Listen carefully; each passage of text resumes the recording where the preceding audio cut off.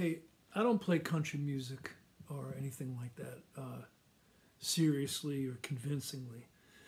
But if I ever feel the need arises for that type of sound, you know, I just rely on some techniques that I've learned. And one of them is slanting, of course.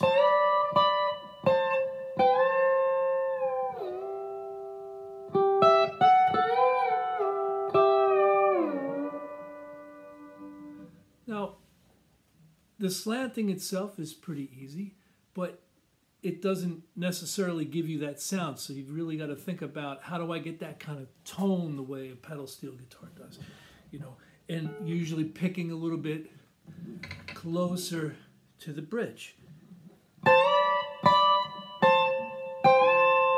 Where the strings are tighter and you just get a sharper sound. Right?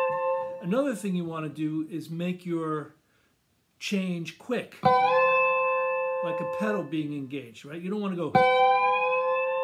You can do it that way as well if that's the kind of sound you're going for, like on a ballad, but like on a, you know, on an up tempo tune.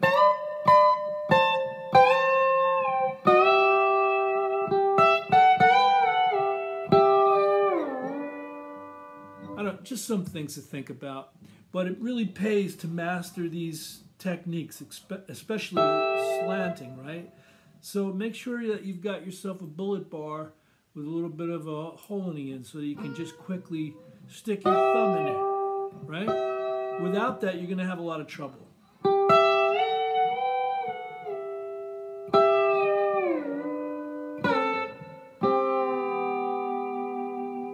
Anyway, just have fun, but it's going to take some practice.